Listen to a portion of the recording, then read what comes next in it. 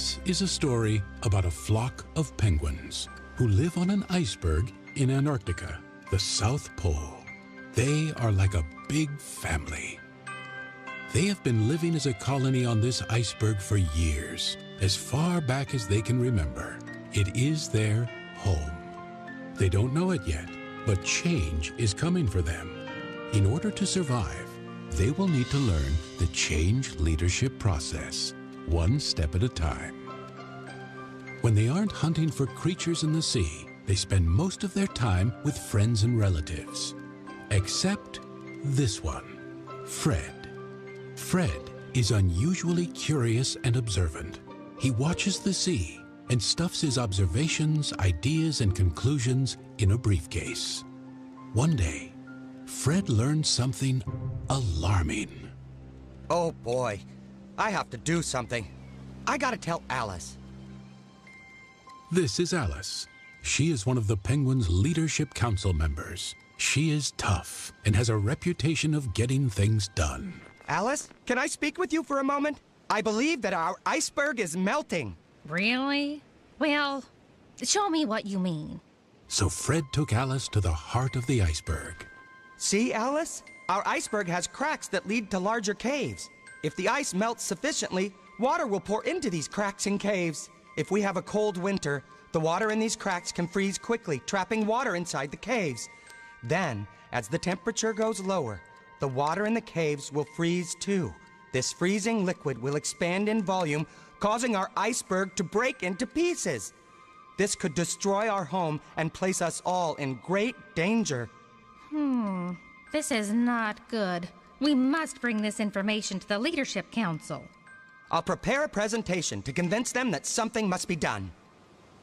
The Leadership Council consists of Louis, the head of the council, Alice, Buddy, the handsome, charismatic one, and Nono, a cranky penguin who is responsible for weather forecasts. Causing our iceberg to break into pieces. This is wild speculation and fear mongering. Our iceberg can withstand such fluctuations. Can he guarantee his data and conclusions are 100% correct? I can't.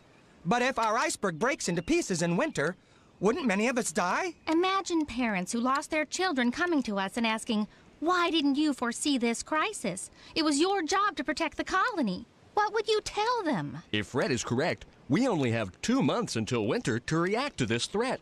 We must inform everyone. This calls for a general assembly of the colony. No! It would be very bad to worry them! We don't want to panic anyone. We must keep this a secret! I have an idea.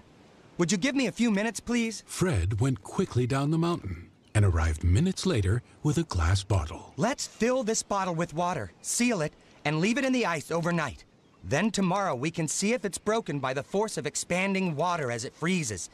If I am correct, the bottle will be broken. Let's do it. We'll meet here tomorrow morning. The next morning, they found the bottle broken. Oh. I'm convinced. We have to do something about this. Let us call a general assembly of the colony. And with that, the Penguins started the change leadership process with step one establishing a sense of urgency. Clearly, our iceberg is in danger, but I am confident we will find a solution. We need to act quickly.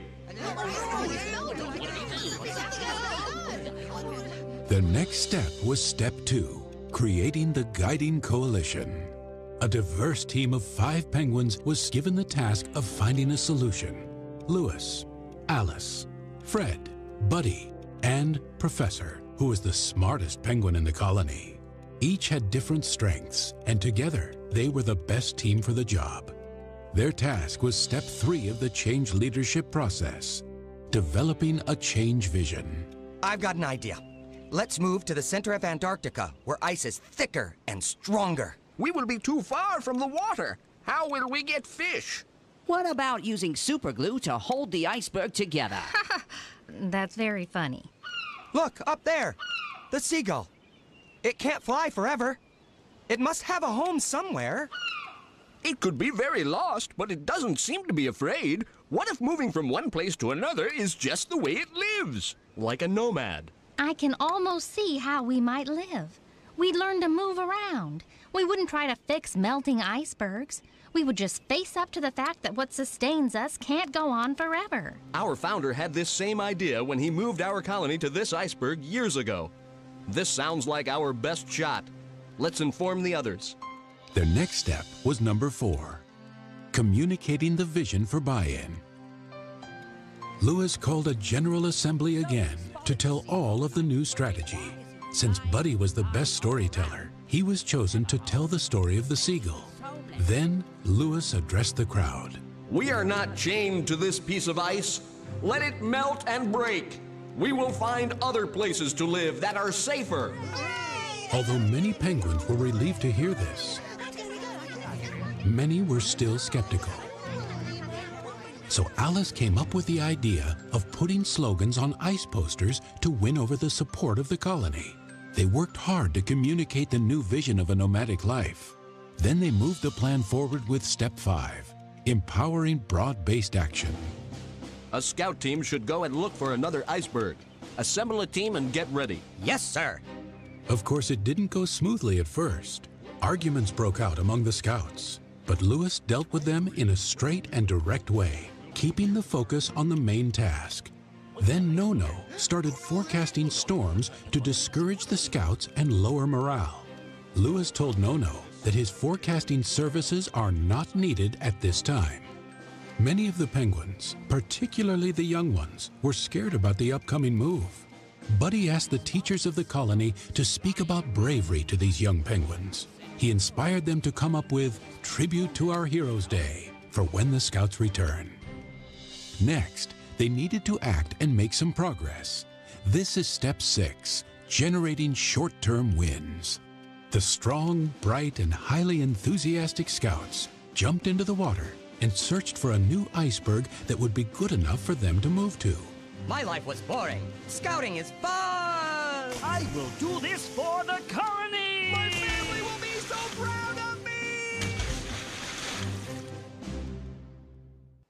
When the brave scouts finally returned, they were tired and hungry, but they were greeted with a hero's welcome. They were given medals and food. They told amazing tales about the sea, about swimming long distances, and about new icebergs they had seen. As happy as everyone was to have this successful trip completed, it was no time to rest. They pressed onward with step number seven, never letting up. The next day, a second group of scouts went out and found the best iceberg for their new home.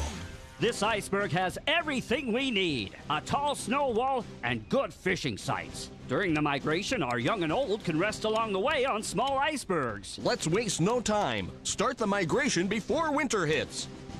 The colony moved to the new home. The move was chaotic at times, but with Louis's leadership and Buddy's encouragement, they arrived safely on the new iceberg. However, they still needed to take one last step. Number eight, incorporating changes into the culture.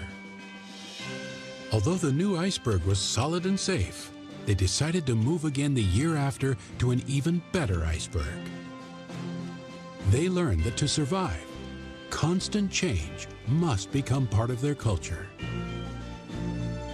We can all learn something from the fable of these penguins. Is your organization safe?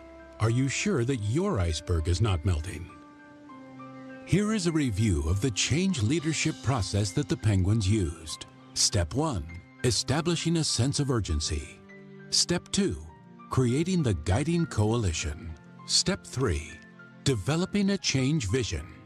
Step 4 Communicating the vision for buy in. Step 5 Empowering broad based action. Step 6 Generating short term wins. Step 7 Never letting up. And step 8 Incorporating changes into the culture. Think about these steps and how they work for our clever penguins. They can help you embrace change and keep you ahead of your melting iceberg.